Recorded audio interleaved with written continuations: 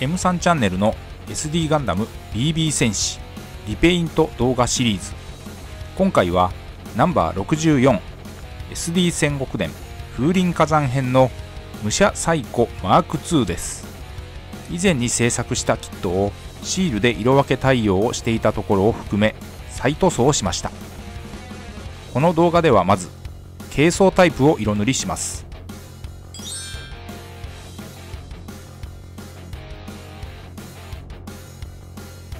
早速塗装の様子を見ていきます。まずは下出るカラーのコントラスト。グリフチャージャーグレイ。仕上げを紺色のカラーにする箇所の下地にしました。オール筆塗りで色付けしていきました。アポシカリーホワイト。こちらはシルバーで仕上げる箇所の下地です。黒の下地色にしたバシリカヌムグレイです。この辺りは水で溶いて薄めた状態で色をつけました。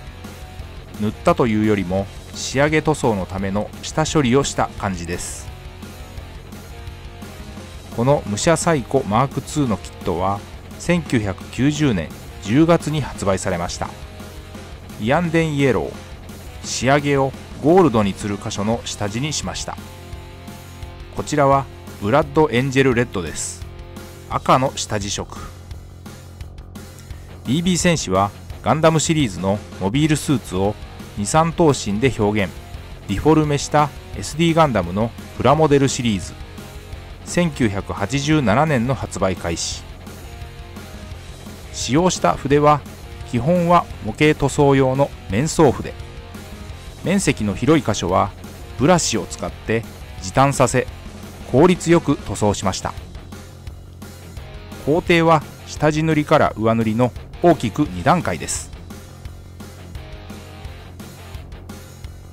下地で用いた塗料がこちらです。コントラストは本来は染め塗り塗料。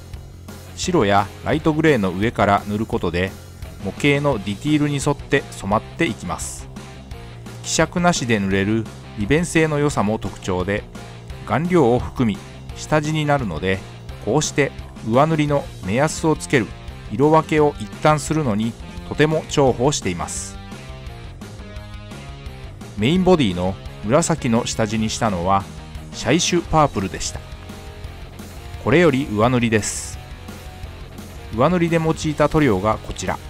塗料は水性アクリルの下出るカラーとパレホを併用。このパートで塗装にかかった時間は約60分でした。パレホのゲームカラーヘックスドライケンです。一番いわゆる紫に近い鮮やかな発色ができるカラーでお気に入りです。隠蔽力の強い粘性の高いカラー。パレホは世界水準で最高級の水溶性アクリルカラーと言われ筆塗りによる塗装が滑らかに楽しめ筆ムラも出にくく広い範囲に塗装ができます。武者サイコマーク2は風林火山編の新生武者の一人で光の玉樹を宿しています。実の兄が武者サイコガンダム。赤の上塗りは下出るカラーのレイヤーイービルサンズスカーレットを使いました。上塗り用の塗料ですがさすがの赤。隠蔽力は高いです。下出るカラーはホビー用の水性アクリル塗料。塗料の食いつきも良く隠蔽力が高いので下地の色を気にせずに塗ることができます。マットな質感の水性塗料で色のラインナップは実に300以上に及びます。一番最初に下地にグリフチャージャーグレイを塗った箇所にシタデルのベース The Fang を塗りました。続いてシルバーは Iron Hands Steel。ベース塗料でメタリックカラー。ゴールドは Retributor Armour を使いました。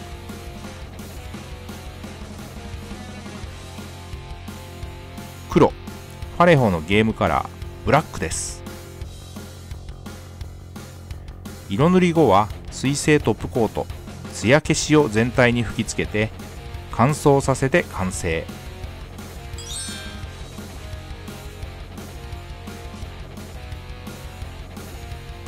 色塗り終わった各パーツを組み上げていきます。この動画パートでは軽装タイプを組み立て。武者サイコマーク2は暗黒のかけらも宿していて闇軍団時代の姿も再現することができるキットです。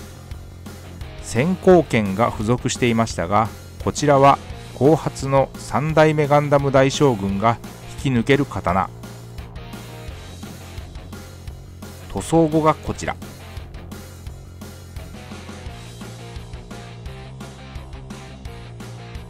ということで今回は SD ガンダム BB 戦士ナンバー SD 戦国伝風林火山編のキットで武者サイコマーク2をリペイント。軽装タイプが完成。次回の動画で武装パーツや武器を塗装します。ご視聴ありがとうございました。次回の動画をお楽しみに。チャンネル登録高評価引き続きの応援のほどよろしくお願いします。